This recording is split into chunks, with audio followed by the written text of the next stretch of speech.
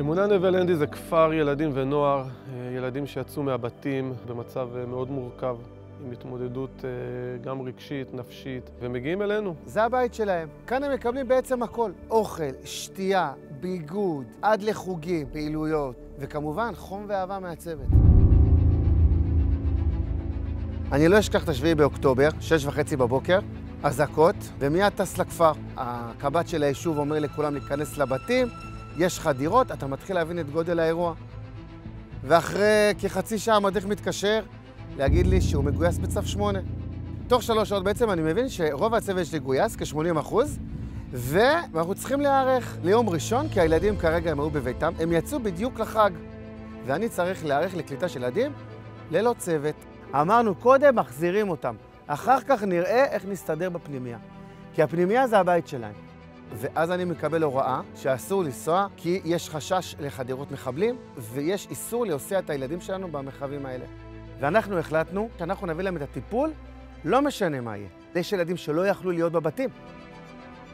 ונסענו לאשקלון, לאופקים, לשדרות, עם אזעקות, עם התראות על מחבלים, עם כבישים שאסור לנסוע בהם, כי הבנו שאנחנו פה בשביל הילדים.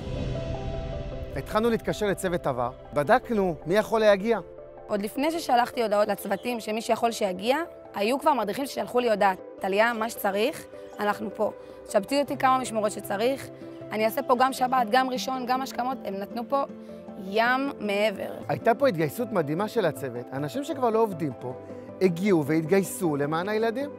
הבנתי שאנחנו במקום טוב, אנחנו עומדים פה עם אנשים שמאמינים במטרה, שהמקום הזה הוא חשוב להם, שהילדים פה הם חשובים להם.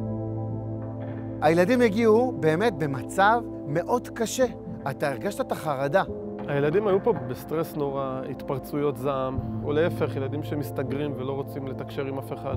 ילדים שאתה רואה אותם בתהליך, פתאום אתה רואה רגרסיה משמעותית, ילדים שחזרו לפספס. הגענו פה למצבי קיצון של טראומות, של חלק מהילדים, היינו צריכים לאשפז אותם תקופה מסוימת להירגות. ממש היה תקופה מאוד מורכבת עם הילדים. פחדתי מהבומים, פחדתי שמישהו מהקרובים שלי ייפגע. הכניס אותי לחרדות, וזה בלבל אותי, ולא הייתי כמו שלפני.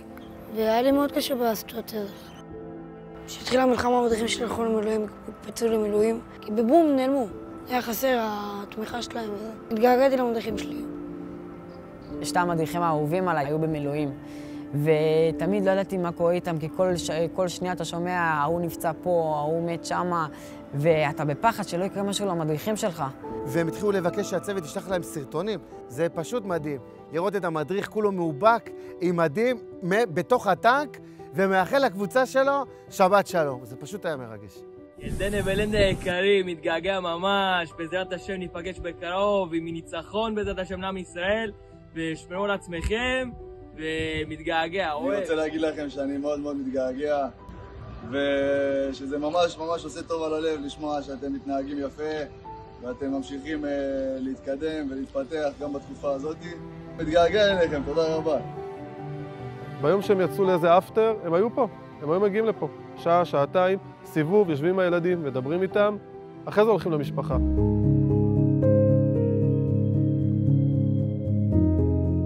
כבר התחלנו טיפה להתאזן, התחלנו את התהליך הטיפולי העמוק. את כל העזרה הזאת, שכולל פסיכיאטר ופסיכולוגים, ומטפלים באומנות, וגינון, וחיות, ועובדים סוציאליים, שממש לרגע לא עזבו אותנו. פתאום הילדים, ראינו אצלם את השינוי לטובה, את הקשר עם המדריכים שהתחזק.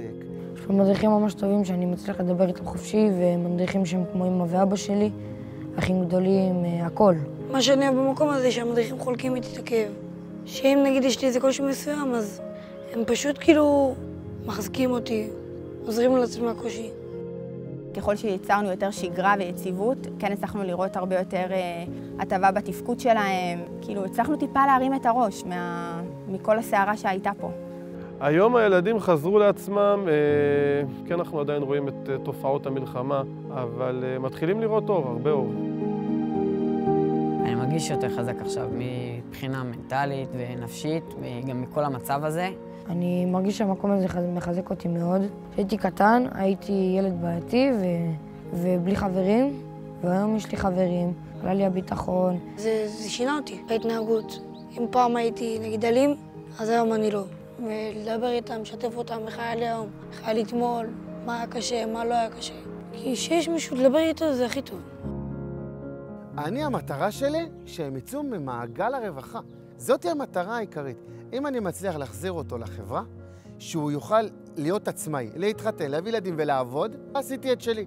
הנערים שלנו יוצאים למכינות קדם צבאיות, אה, מתגייסים לצבא, להיות אנשים תורמים בחברה, אנשים תורמים בקהילה. המקום הזה הציל לי את החיים, כי באמת, אם לא הייתי פה, יכול להיות שהייתי מדרדר למקומות שלא מאחל לאף אחד להיות בהם.